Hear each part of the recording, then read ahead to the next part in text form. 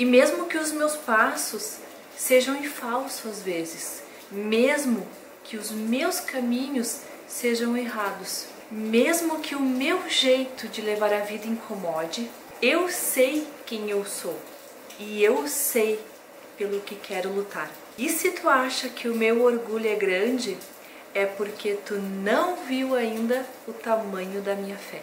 E que venha uma semana repleta de coisas boas, uma semana abençoada para todas as pessoas que estão assistindo esse vídeo.